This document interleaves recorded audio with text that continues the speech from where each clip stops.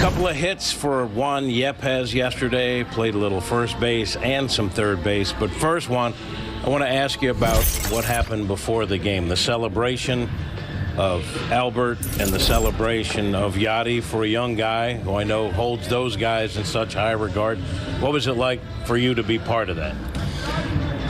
I mean, I talked to some of my friends back home, and they were like, "Man, it's such a blessing that you were there," you know, and uh, just to celebrate those two, you know, what a career they had. They, you know, it's just like you look ahead and you're like, man, unbelievable careers and you know Hall of Fame careers, legendary careers, and just what um, they were saying about the brotherhood. You know, they both. Uh, I mean, I think Albert got to the big league first, and then Yadi a couple years later, and then you see like they were able to win all those championships together. It's just it's like a, a, movie, you know. So, but it's it's pretty it's pretty cool to be able to experience that, and it's just a blessing to be here.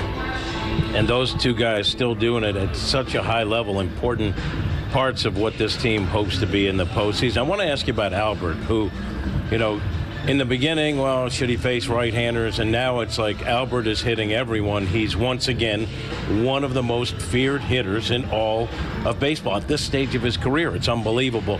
So when you watch what Albert has done, what stands out to you? What's that one thing you're like, I don't believe he can do that?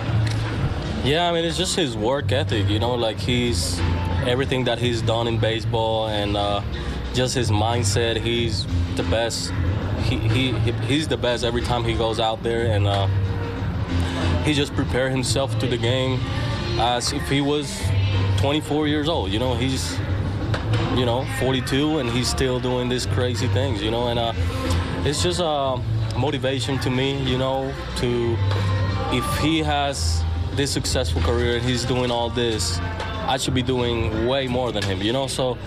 I mean, it's just like I said, a blessing to be here to learn from all these guys, you know, and uh, how they prepare for every game.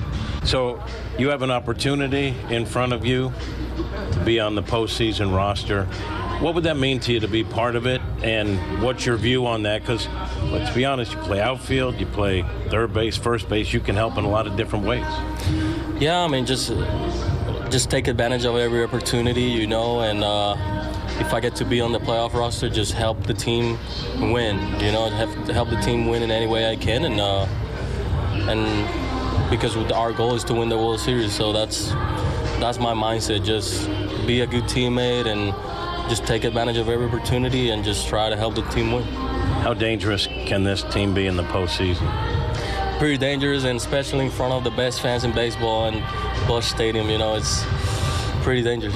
Juan, we always appreciate the time. Thanks and good luck. Thank you. Appreciate it. All right, guys. Juan Yepez.